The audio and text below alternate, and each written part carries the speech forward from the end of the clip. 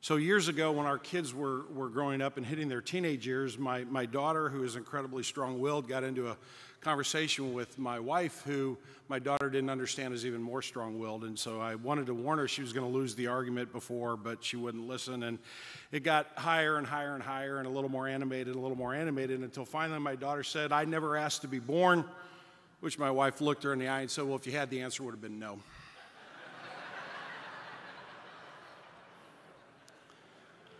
Church planting is not easy. It is not for the faint of heart.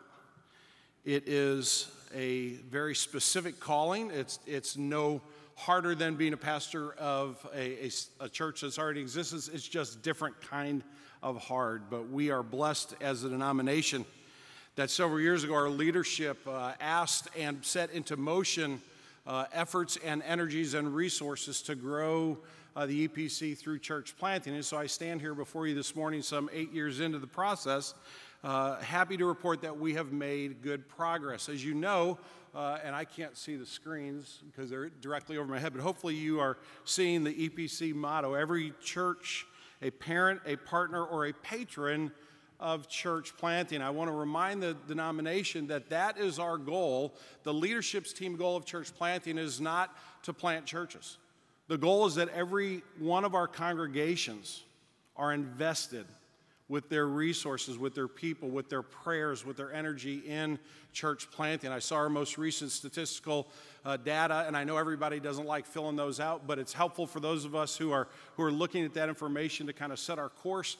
And we have a long way to go in that. We're, we're much further down the road than we, than we were, but we do not yet have a tremendous number of churches uh, collectively serving together in church planting. So I want to give you just a, a, little bit of data this morning, not a whole lot, but a little bit of an update. We have 42 active church plants in 16 states. That's and those are the church plants of which I'm aware. I learned yesterday of a church plant. I had, didn't even know they had started, and I told the person who started, I praise God for that. Don't wait for me. Go and, and get it done. So we have at least 42 in 16 different states. That's the good news. The challenge there is, is the last time I looked, the EPC is in more than 16 states. So we have a good amount of opportunity still ahead of us. We have two new church planting networks, again, of which I'm aware, uh, and two more in development. I want to tell you about one of them because one of them is in my hometown. Five EP churches in the greater St. Louis area have bound together, and we have committed our resources and our energies for the sole purpose of planting churches in the city of St. Louis, not in the county, not in the surrounding area, but in the city of St. Louis. So we're going to be looking towards uh, the urban part of our community, and that's the only reason that network exists. We're not going to do anything else. So I'm thankful that networks are springing up around the country. Uh, we have seven active church plants in underserved neighborhoods, and you should know that the leadership team of church planting is looking not only at underserved neighborhoods, but we are also looking at unreached areas of our country, in particular the, uh, the eastern, northeastern seaboard, uh, the western seaboard are a couple of areas in our country where there's tremendous opportunity in a post Christian era to plant churches and to share the gospel.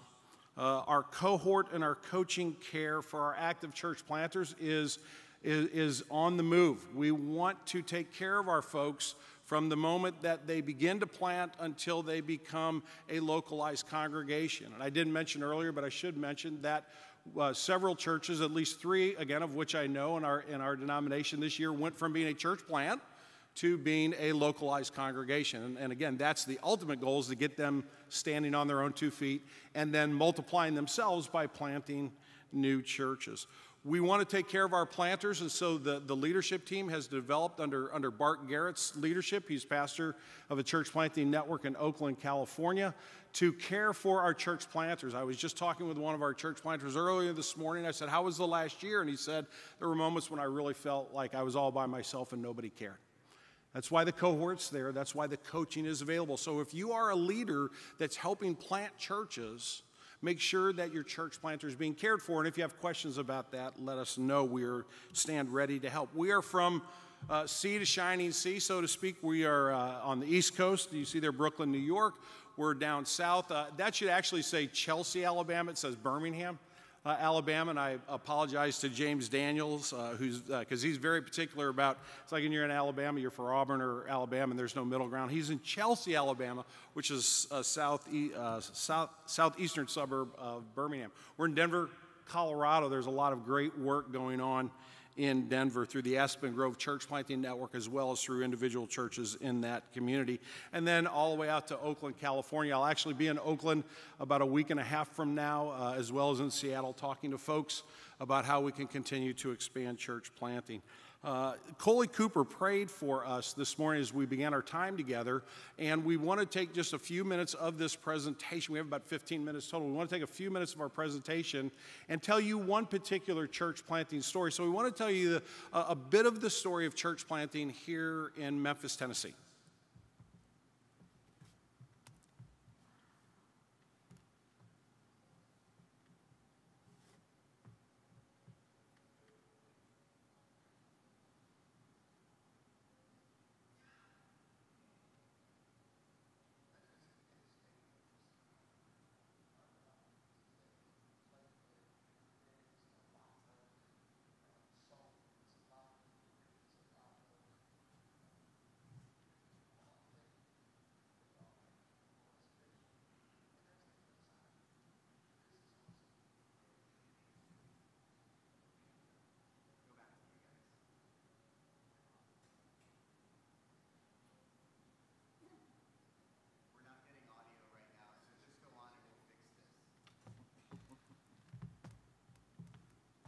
As we said, we wanted to show you a story.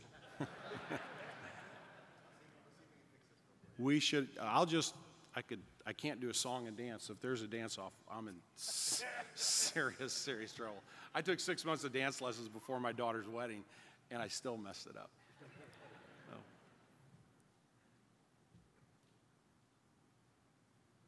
This is the person you don't want to be right now. Not going to happen? So I'll tell you a little bit about church planting in Memphis, Tennessee. Uh, Cole, you're not still in the room, are you? Where are you? I, I, well, brother, I, am sorry, but if you came by bus, it'll wait. Come on down. Didn't Pastor Billy Graham used to say that all the time? If you came by bus, they'll wait. Uh, I'm gonna I'm gonna put you on the spot, and we're gonna do a real quick uh, kind of Q&A uh, spontaneous. As he's making his way down, the, the wonderful part about this, can we, um, can we get that on the website at some point so folks can go back and look at it in a couple days? So let me encourage you to do that if you would. Go to our EPC website, uh, which we've had tremendous work done on our EPC website, and uh, take advantage of that and take a look at this story. But what's wonderful about church planting in Memphis, I think it's a microcosm of what's great in our denomination is a lot of different folks from a lot of different backgrounds are working hard for Memphis church planting. See, you walk all the way down here, you laid hands on it, and now you can walk all the way back up. They just fixed it. Well, let, fire away with the video.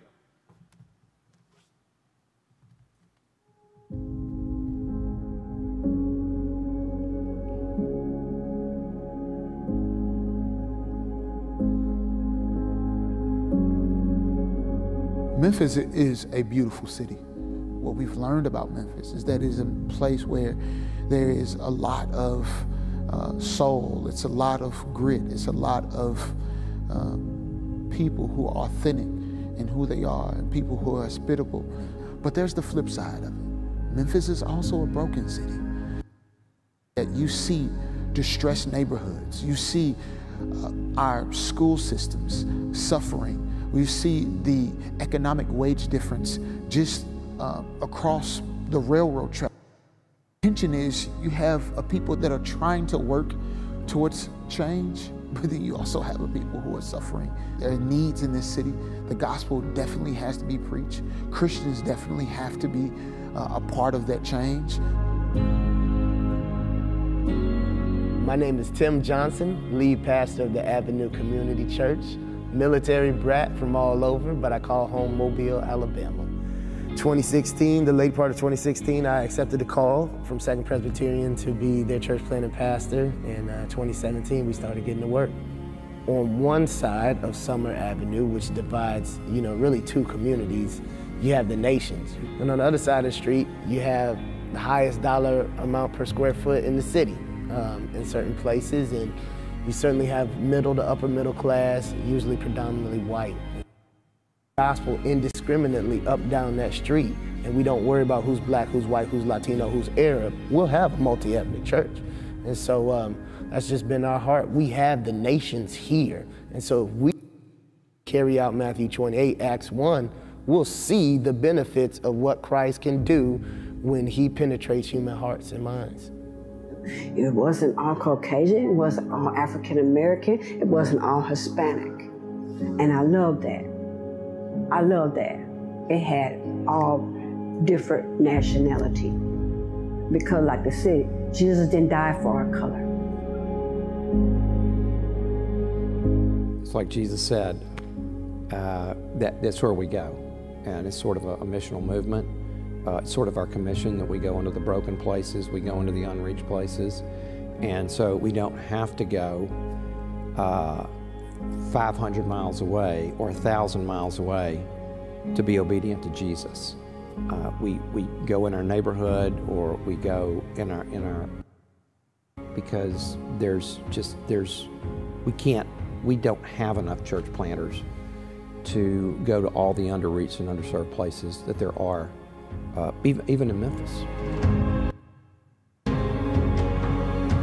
So I've been in church planning for over 25 years, and um, one of the early mantras in church planning was dream something so big for God that unless He intervenes, it's going to fail. God's Spirit must move. And uh, what I find and what I found in all my plants is that God's Spirit does move. And you can trust Him. He is faithful. He is the same yesterday, He'll be the same today, and He'll be the same tomorrow. And He will do as much in you as He'll do through you. Um, and you just have to trust Him as you, as you move forward.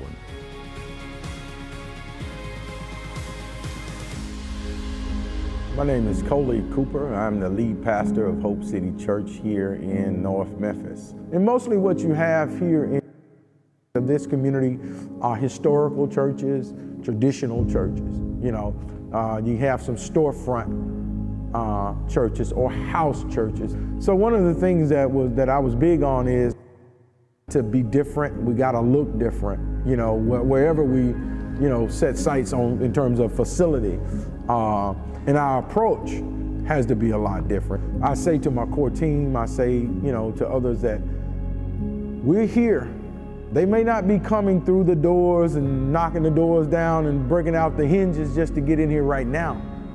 But if we keep making the strides, the impact, and, the, and doing the things we're doing uh, in the community, uh, with the outreaches that we started, the food giveaway, the clothes closet, just the networking and engaging the people, the loving on people, the different, the special kind of services that we have that don't look all churchy, you know, eventually they'll come.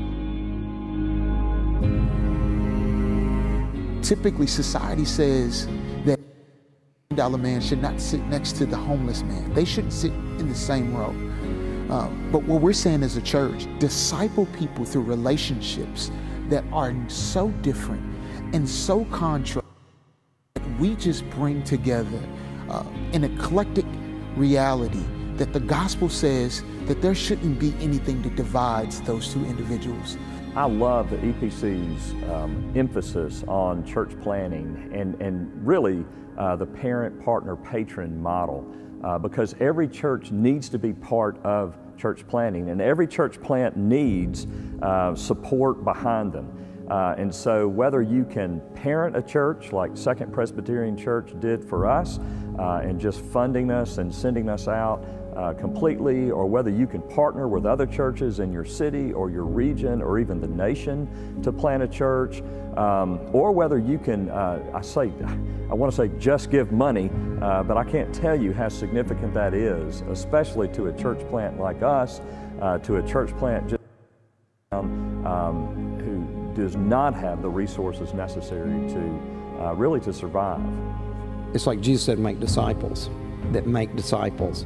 So when you see churches that are planted church, it just seems to be in keeping with the spirit of the gospel, which is living things grow and living things reproduce, churches reproduce.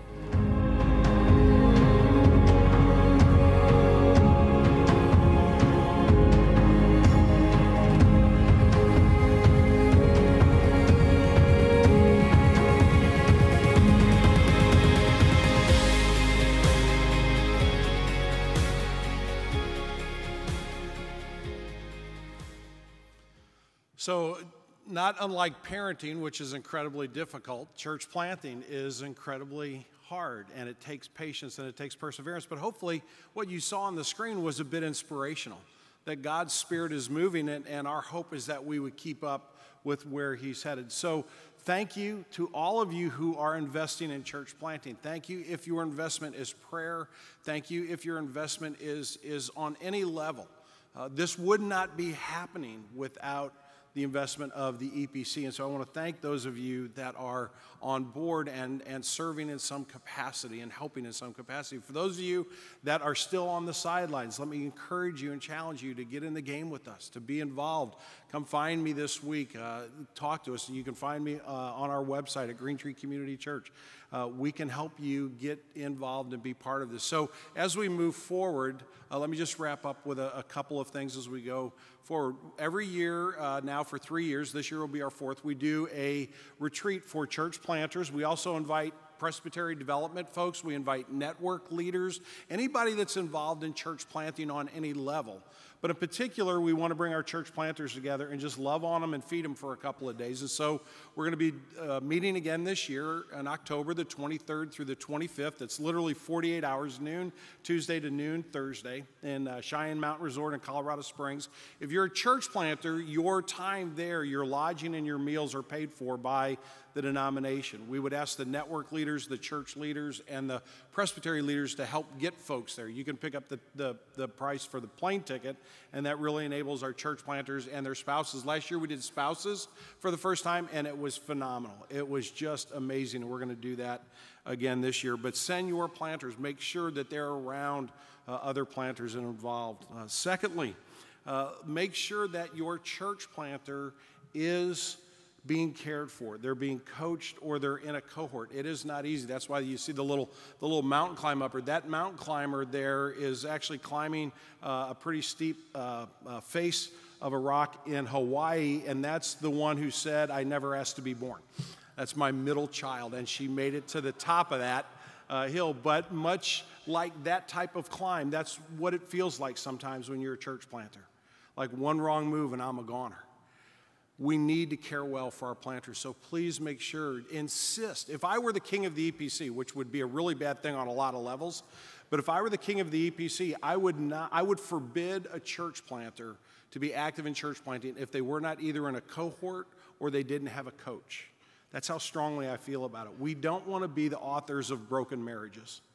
We don't want to be the folks who, who enable uh, things to go wrong because just out of neglect. So your church planter might say, you know what, I'm good, I don't need it. Ignore that.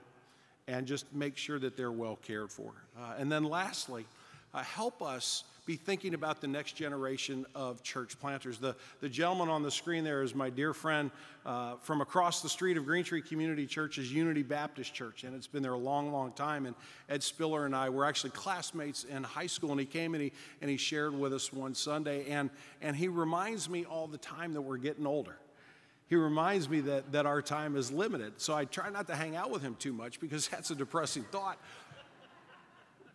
But, uh, but if Ed were here, he, he, would say that's exactly right. Where's the next generation? You may have a young assistant pastor in your church. You may be sending somebody to seminary this year. You may have a high school student that, that shows great uh, potential. We had a high school student uh, in, in, in a Greentree who shared at the Kirkwood High School baccalaureate. And I said to him, Let me know when you want to preach at Greentree. And he said, Well, at least give me my freshman year of college. I said, I'll do that, but I'll be back next year. Where's that next generation? Help us identify them and help them think in terms, perhaps, of church planting. So we are, we are on our way, uh, but we are not yet to the place where I can say that our motto is true. Uh, and I would like to uh, eventually go and be with Jesus with this motto being true that every EPC church, every EPC Church is a parent or a partner or a patron of church planting. Thank you for your time and indulging our report.